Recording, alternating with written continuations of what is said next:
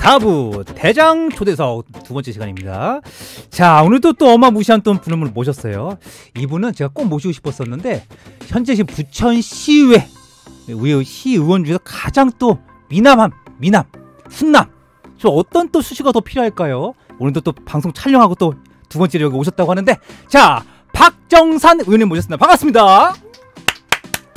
네 반갑습니다. 자, 의원님 제가 한번 꼭 모시고 싶었었는데 드디어 저희 MBS 뉴스 전장에서 모십니다. 고맙습니다. 자, 마이크 가까이 한번 오시고요. 예. 제가 첫 순서가 있어요. 저희 또 오시는 분들한테 제가 이렇게 전혀 따로 홍보해 주지 않아요. 예, 본인께서 직접 홍보를 할 건데요. 제가 박정사 의원님 당신 누구십니까? 딱 하게 되면 저는 뭐 하고 있고 뭐 하고 있고 뭐 하고 있고 이게 말씀을 쭉 하시면 되겠습니다. 예. 네, 저 처음 뵀었는데 여기서 자 어떻게 준비되셨습니까? 자 한번 네, 제가 준비됐습니다. 자, 제가 멘트 치면 들어오시면 되겠습니다. 자, 자, 준비되셨습니까? 자, 한번 슬슬 한번 들어가 보도록 할게요. 자, 박정선 의원님, 당신은 누구십니까? 예, 이제 저는 그 부천시 중동 상동을 선곡으로 하고 있는 이제 부천시의회 더불어민주당 소속의 이제 박정산 의원입니다. 어, 시민들하고 함께하는 행복 엔진이란 슬로건으로 어, 현장에서 많은 시민들하고 이제 부천시와 우리 지역 주민들의 에, 삶을 위해서 노력하는 그런 시의원이라고 하겠습니다. 그, 자, 한번 프로필 한번 제가 읊어보도록 할게요. 지금 의원님 보게 보게 되면 어, 도시교통위원회, 에, 뭐 위원이시고 어, 도시교통위원회 어떤 일들을 하는 거죠? 예, 우리 부천시의회는 이제 네개 상임위원회가 있어요. 그래서 의회가 이제 상임위원회 위주로 이제 운영이 되는데 이제 선임위원회인 부천시 의회 운영위원회, 그 다음에 부천시 재정문화위원회, 행정복지위원회, 도시교통위원회가 있습니다. 그래서 어, 도시교통위원회는 부천의 도시와 교통과 관련된 부서들을 이제 감사하고 그와 관련해서 여러 가지 이제 정책 대안이나 질의나 그다음에 그에 소관된 업무를 이렇게 감사하고 심의하는 그런 상임위원회입니다. 어 이제 그 우리 이제 그 지방원들이 이제 기본적으로 할 수 있는 게 이제 시 집행부의 견제와 감시, 그다음에 이제 뭐 행정 사무 감사 기능, 그다음에 예산 심의 결산 검사, 그다음에 이제 그 입법과 관련된 이런 일들을 하고 뭐 자료 요구 건 같은 걸 하고 있는데 어 이제 우리가 실질적으로 보면은 제가 이제 우리 부천시에 어 강하게 추진하고 있는 게 이제 우리 부천시 스마트 도시와 관련해서 많은 정책들을 추진하고 있거든요. 그래서 약 현재 한 25개 사업을 추진하고 있는데 그거에 대해서 이제 부천시 스마트 도시에 관련된 그러니까 부천시 스마트 도시를 지원에 관한 조례를 처음 발의를 했습니다. 자, 2010 스마트 도시가 과연 어떤 건지 말씀해 주시죠. 그러니까 예. 이제 이런 거죠. 스마트 도시라는 거는 이제 우리 부천 시민들의 삶을 데이터화해서 그 데이터를 가지고 시민들이 편하고 어 시민들의 도시 문제를 해결하는 그런 정책이라고 보면 쉽습니다. 그렇지만 그런 여러 가지 중에 이제 단편적으로 이제 포괄적인 이야기를 한 거고 그 외에 이제 스마트 도시라는 게 교통과 관련된 것도 있고 도시와 관련된 것도 있고 뭐 행정, 뭐 안전, 문화 모든 부분들을 하나하나씩 그 항목을 갖춰서 도시를 이제 그 스마트하는 그런 사업이라고 보면 되겠습니다. 아, 스마트 도시 어떻게 네. 빠른 날을 오겠죠? 그래서 지금도 추진하고 있고 많은 변화가 있고 그렇습니다. 예. 예, 예. 그래서 어, 현재 지금 도시교통위원회 또 일하시면서 아, 일- 일하시면서 준비 중인 법안이나 개정 필요한 뭐 관련 법안들이 있습니까? 제가 이제 많은 조례를 이제 제정하고 이제 개정을 했죠 했는데 이제 도시교통위원회에서 하는 것들은 주로 이제 도시 문제이기 때문에 어 저 같은 경우는 이제 이런 조례도 발의를 했죠. 이렇게 우리가 보면 몰카 설치해서 화장실에 이제 몰카를 설치해 가지고 이제 그런 촬영을 해서 이제 악용하고 있는 것들도 있는데 그거를 이제 미리 예방하게끔 정기적인 점검과 그의 관리에 관한 그 조례도 어 제정을 했고요. 예, 예. 그래서 이제 뭐 시행을 하고 있고 어 그 다음에 이제 또 우리가 말한 부천시 같은 경우는 우리 환경을 되게 중요하거든요. 그래서 우리 환경 정화 사업에 필요한 EM EM 생산과 관련된 조례도 발의를 했고 제가 총 발의한 조례는 한 열다섯 가지 정도 될 것 같아요. 뭐 일일이 다 이야기하기는 그런데 그래 대표적으로 뭐 이런 조례들이 좀 있는 것 같아요. 그 다음에 이제 내가 좀 내세울 만한 게 이제 부천시 항일 독립운동 지원에 관한 조례가 있습니다. 그래서 이거는 이제 우리 부천에 이제 항일 운동했던 그런 역사들을 보존하고 그와 관련된 것들을 이제 시가 지원해서 개성 발전시켜서 우리 부천의 이제 꿈나무들부터 항일 운동에 대한 이런 의식을 고취하는 그런 조례도 제정을 했고 그랬습니다. 야, 15개면 시의원분들에서 가장 많이 법안 발표. 예, 현재 뭐 제가 가장 많이 발의를 했습니다. 자, 부천 시의원 중에서 가장 15개로 가장 많이 에, 법안 발의한 우리 박정선 의원님과 같이 하고 있다는 거 거듭 말씀드리면서요. 자, 그리고 프로필을 보니까 부천시 양국 양국협회 자문위원이신데 예, 어, 부천에 양궁이 이게 양궁장이 있잖아요. 예, 예. 자, 거기서 자주 양궁 하시나요? 저는 이제 양궁은 한 번, 두 번인가 한 번 시범적으로 한번 네. 만져서 이제 쏴보긴 했는데요. 제가 양궁을 하지는 않고 이제 그 부천시의회 의원으로서 양궁협회에 혹시 무슨 도움이 될 수 있는 게 없나. 왜 그러냐면 양궁은 좀 달라요.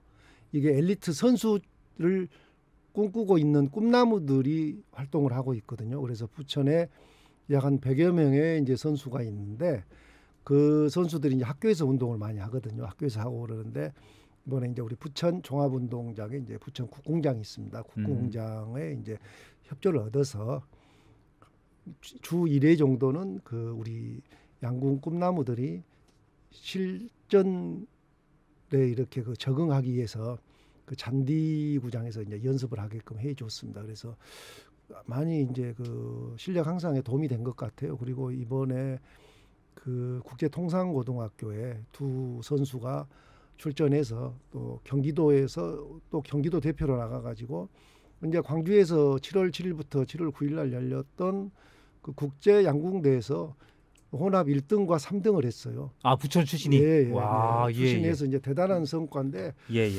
이제 좀 아쉬운 부분이 좀 하나 있는데 그게 뭐냐면은 이제 고등학교가 양궁부가 없어요. 아, 고등학교가 예, 예, 예. 그러다 보니까 애들이 이제 고등학교를 갈 때는 예, 예. 다른 좋은 이제 명문고로 다른 타 지역으로 다 가게 돼 버린 부천을. 벗어나서 예, 어디로 갑니까? 서울로 갑니까? 이제 뭐 서울 명문 학교로 이제 가버리는 거죠 양궁에. 아, 그래서 우리도 이제 뭐 네. 상도 중학교, 원미 초등학교 뭐 몇 개 학교는 이제 선수가 있는데 고등학교는 없어요. 음. 그래서 이제 국제 통상고가 좀 선수를 기르는 그런 양궁 팀을 창단해 주면 음. 부천시 양궁협회로서는 되게 이제 좋은 일인데 아직은 이제 거기까지는 못 미쳤고 그런 역할도 좀 한번 하고 싶고 음. 그리고 우리 이제 양궁 엘리트 선수들은 100% 이렇게 한 32명의 이사들이 있거든요. 이사들이 음. 후원금이나 자비를 내서 그렇게 후원을 하고 있거든요. 아, 자비로 내는 거예요? 지원을 예, 받는 게 아니에요? 현재 뭐 지원을 받는 게 없어요. 그게 아, 좀 예. 안타깝습니다. 그래서 그 양궁 그 학생, 학생 아카데미도 하고 있고 그렇습니다. 그래서 하여튼 우리 부천에 양궁 선수들이 인재들이 많다는 거는 참 좋은 일입니다. 아니 그렇게 인재들이 있으면 시에서부터 지원금 같은 거 받을 수 있잖아요. 근데 이제 학교에서 이제 그 창단을 해야 되는데 아. 일단 학교에서 창단하기에 좀 버거운 부분들이 있겠죠. 국제 그래서- 통상고등학교. 예, 그래서 우리- 국제 통상고 선수들이 이번에 이제 우수한 성적을 그 정도 되면은 이제 겨우 음. 이제 우리나라 국가대표까지 갈 수 있는 선수들이죠. 어. 그런 걸 우리가 부천에 보유하고 우리 부천에서 키운다면 훨씬 좋은 건데 예, 예. 그렇지 못한 게 좀 아쉽습니다. 아 그렇군요. 예. 양궁협회 이거 이거 좀 더 발전됐으면 좋겠고요. 인재들이 있으면 확실히 키워야 돼요. 인재를 발굴하는 것도 실력입니다. 시 그렇습니다. 자체적으로 예, 예, 예. 재산이기 때문에 자산이죠. 그래서 그 이사분들은 항상 고맙게 생각을 하고 있습니다. 아 네. 그렇죠. 그, 그런 거 처음 알았네요. 네. 자 그리고 어, 제작진들이 저희 또 어, 뉴스 대장 제작진들이 의정 활동 보니까 의원님 조사를 해 보니까 어, 전통시장 공연 공영 주차장 활성화를 위해 토론회를 개최하셨다고 하는데 자 어떤 어떤 토론회입니까 이게? 이제 그 제가 토론회를 개최한 거는 제가 한 거는 아니고요. 예, 예. 이제 그 우리가 말하는 의원 연구단체 토론을 한것 같은데 예, 예. 그와 관련해서 저는 이제 우리가 저, 전통시장이 부천에 있거든요. 거기에 열 10개 전통시장 부설 주차장이 있습니다. 근데 그 부설 주차장의 주차비를 받는 제가 무인으로 지금 운영을 하다 보니까 음. 전통시장을 이용을 하면 그래서 영수증을 받아서 차가 출차할 때 그 리모컨에 영수증을 대고 안내가 나와서 할인 계산해서 이렇게 카드로 결제하고 나가거든요. 근데 예, 이게 되게 불편하고 음. 시민들의 이제 민원이 많았어요. 그래서 그거에 한 시간은 그냥 무조건 무료로 음. 전통시장을 이용하면 무조건 한 시간은 무료로, 무료로. 이렇게 이제 오. 조례를 개정해가지고 예, 예. 어, 전통시장을 이용하신 분들이나 주변에 가끔씩 왔다 가신 분들이 편리하게 이용하게 이제 한 시간을 전액 무료로 음. 그렇게 이제 주차장 관련된 조례를 이제 제정을 했던 거죠. 아, 그렇군요. 예, 예. 아, 이거 저기 박전 의원님께서 직접 대표 발의, 그렇습니다. 대표 예, 발의하신 대표 거예요? 발의한 아. 그러니까 그렇군요. 되게 이제 예, 예. 주민들이나 시장에서 되게 이제 그 만족스러워하고 좋아하는데 또 일부는 음. 그와 관련해서 또 영민원이 좀 있기도 하더라고요. 영민은 뭐가 있습니까? 이게 이제 그러다 보니까 너무 많은 사람이 차를 댈 수 있다. 아. 그러면 원래 시장에 영민원. 오시는 음. 손님들 외에도 음. 주차가 과해지면 피해를 줄 수 있다 이런 걱정을 음. 하는데 아직까지 현재까지는 뭐 그렇게 문제가 발생을 하지는 않았어요. 현재까지는 네, 예. 조사를 또 조례를 제정하기 전에 조사해 보니까 음. 음, 거의 70% 이상이 한 시간 이내에 나와요. 아, 70% 이상. 저도 뭐 시장 전통 시장 간혹 간혹가다 이용하는데 한 시간 안 걸리는 것 그렇습니다. 예, 예. 이 명절 때 뭐 그날 음. 그때 사람 없- 많을 때 말고는 그렇게 오래 걸리지는 걸리, 걸리는 것 같지 그런데 참. 잘했다고 생각을 합니다. 아우 좋습니다. 그 좋은데요. 예. 네, 들어보니까요. 그리고 우리 또 박전서 의원님 올해 2월에 대통령 직, 직속 국가균형발전위원회 어, 국민소통특별위원회 초- 위촉되셨는데 이게 뭐 이게, 이게 길어요. 예, 이거 뭐 하는 겁니까? 예, 이제 그 제가 이제 1년 기간으로 이제 이촉을 받았습니다. 이제 예. 국가균형발전위원회 이제 국민소통특별위원들이 하는 일은 음. 지금 코로나 19와 같은 이런 시기가 아니면 정기적으로 회의를 해서 음, 지역의 문제점을 해결하고 의견을 주는 그런 일을 하는데 지금은 이제 어쩔 수 없이 이렇게 서로 이제 모여서 회의를 할 수가 없으니까 음, 분기별로 국가 균형 발전 위원회에서 만들어낸 정책들을 음, 이제 시민들의 모니터링도 하고 시민들이 어떤 생각을 가지고 있는가에 대한 의견도 시합을 해서 국가 균형 발전위에 또 제출도 하고 음. 또 우리 지역의 국가 균형 발전과 관련돼서 어떤 정책들이 필요하다는 거 그런 거를 계속 이렇게 시민들을 소통해서 그와 관련된 의견을 취합해 가지고 그 타이틀을 만들어서 국가 균형 발전위원회에 이제 제출하고 그게 이제 또 컨택이 된다 하면 지역에 와서 직접 회의를 해서 음. 정식 의제로 넣기도 하고 이제 그런 일을 하고 있는 거죠. 그 지역과 지역과 중앙을 연결시켜주는 가격. 역할을 하고 계시는군요. 예, 예, 어, 그렇습니다. 깔끔했습니까? 예, 예. 감사합니다. 자 이어서 자 2018년 위원님이 되신 이후에 아, 부천 시의원으로 활동하시면서 예 그래도 가장 기억에 남는 일이 있을 것 같아요. 자 어떤 게 있습니까? 제가 이제 그 선거 운동을 할 때 우리 지역에 가면 이제 송내역 북부광장 서측에 서천공원이라는 게 있습니다. 서천공원. 예, 거기가 이제 일기 신도시를 만들면서 처음 조성된 공원인데 거기에 가면 어르신들이 아침 일찍 배드민턴을 치세요. 아 배드민턴 어저께 예. 우리 또 김문우 의장님 나와서 배드민턴 얘기하던데. 예, 배드민턴을 쳤는데 예.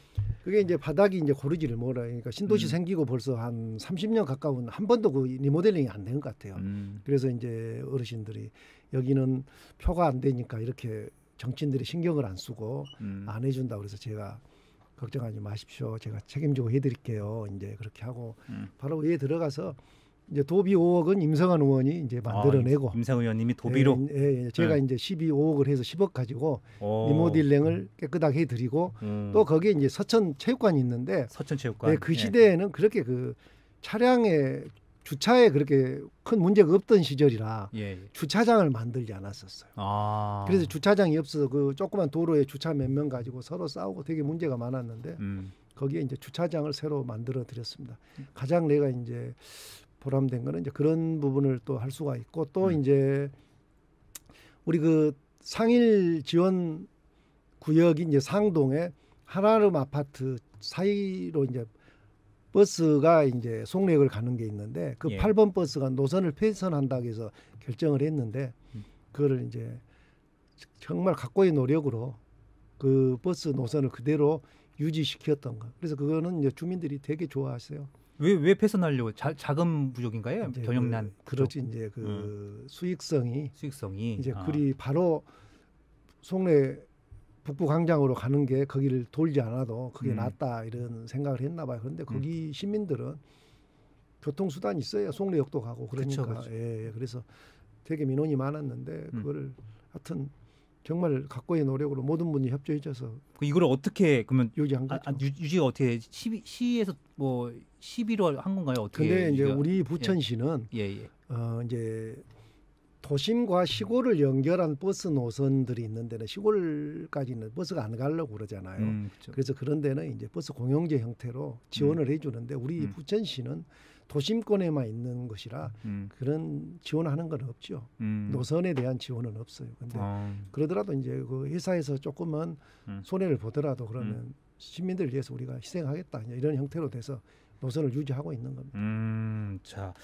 주차장 이거는 진짜 박수발 받을만 하네요. 예, 요즘에 주차장. 예, 그렇습니다. 임상원 의원님 같이 한번 임상원님 한번 모셔야 되는데 그러시죠. 예, 좋아하실 겁니다. 예. 어, 그저께 통화했는데 음. 아무튼 이선 연락 한번 다시 한번 드리고요. 자, 그 반면에 그러면 어, 어, 기억에 남는 거 바- 반면에 힘든 점도 있을 것 같아요. 자, 어떤 게 있습니까? 시의원으로 활동하시면서 힘든 거는 뭐가 있습니까? 지금 이제 그 지금으로서 힘든 거는 우리가 코로나 19로 인해서 이게 사회적 거리두기 강화해서 소상공인 자영업자들이 엄청 어렵거든요. 정말 어렵고 힘든데 그분들도 어렵지만 또 중소기업도 어렵습니다. 상대적으로 다 그쵸. 어렵거든요. 음. 그래서 특히 고용을 하고 있으신 분들은 더 더더욱 어렵고 그래서 그분들에게 좀이라도 우리 시에서라도 재정적인 좀 많은 지원을 해주고 싶은데 음.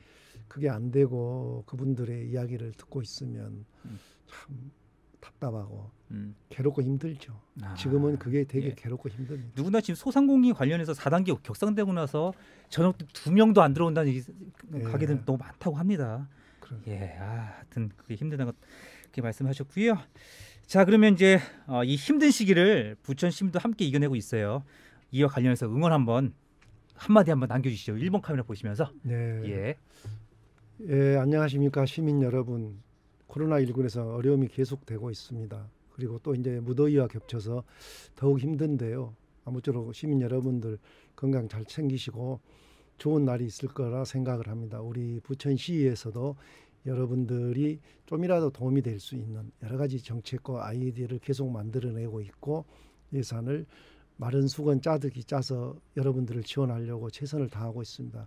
하여튼 힘든 시기입니다. 우리 함께 극복합시다. 감사합니다. 와우, 야. 이게 또 조근조근 말씀도 잘하세요. 아니 훈남이시고 말씀도 잘하시고 부족한 게 뭐예요? 음, 왜 부족한 게다 뭡니까? 부족한 거죠. 겸손하기까지. 야, 우리 박정상 음. 의원 제가 예전에 의원님 항상 이런 얘기들 마- 주위에서 많이 하더라고요. 예, 박정산 정상 깔끔하게 하겠습니다. 이런 얘기를 많이 하는데 어떻습니까? 깔끔한 편이십니까? 너무 깔끔해서 다. 그렇군요. 예. 자, 저희가 오늘 또 나와주신 분들에게 어, 항상 요즘 부- 부탁을 드리는 게 제가 릴레이 추천을 또 받고 있어요. 아. 저또 우리 또 어, MBS 우리 뉴스 대장 아닙니까? 아닙니까? 여기 꼭 나올 만한 분 이, 이- 이분만큼 꼭 나와야 된다. 아, 사람들 소개 좀 해야 된다. 지역 사람들한테 소개 좀 했으면 좋겠다. 음. 자, 어떤 분이 있습니까? 제가 이제 그 LG 헬로비전에 거의 고정 출연을 하는데 이제 저와 이제 파트너가 있어요. 어, 누굽니까? 이제 국민의힘의 예. 이제 그 광래경 의원. 아, 광래계 의원님. 예, 예, 오늘 또 방송국에 아, 같이 갔다 왔는데. 그렇군요. 예. 제가 다음 주 이재진 전 도의원 모시거든요. 아. 자, 광래계 의원 한번 모셔야겠어요. 왜- 왜냐하면 저희가 일단 공정하게 봐야 돼요. 그리고 여당, 또- 야당 얘기 다 들어봐야 되거든요. 그렇습니다. 예. 좀 공정한 뉴스에 유쾌함을 더하다. 이게 바로 뉴- 뉴스 대장의 바로 슬로건입니다. 예, 괜찮습니까? 괜찮습니다. 자, 일단은 의원님께서 광래 의원님께 전화 한번 해주시고 예, 제가 전화 또 한번 하겠습니다. 그래요. 그래서- 전화를 해드리겠습니다. 알겠습니다. 네. 감사합니다. 약속하셨고요. 예. 자, 오늘 나와 보니까 추후에도 한번 또 나오실 의향 있습니까? 언제나 불러주십시오. 아, 예, 약속하셨어요. 하겠습니다. 예. 감사합니다. 자, 이상 박정석 의원님이었습니다. 감사합니다. 자, 마지막으로 예, 멘트를 한번 하겠습니다. closing 뉴스. 자, 오늘 뉴스 대장이 준비한 시간은 여기까지였고요. 기상청을 보니까 소나기가 오늘 예상된다고 합니다. 예, 창밖은 쨍쨍하네요. 잠시 무더위를 날려줄 담비라고 생각했는데, 음 말이죠. 자, 여러분 저희 뉴스 대장은요 다음 주 월요일 날 휴방하고요. 그 다음에 화요일 날, 예, 20일 날 다시 찾아뵙겠습니다. 더 좋은 방송 알찬 뉴스로 재정비해서 돌아오겠습니다. 자, 여러분들 주말 잘 보내세요. 감사합니다.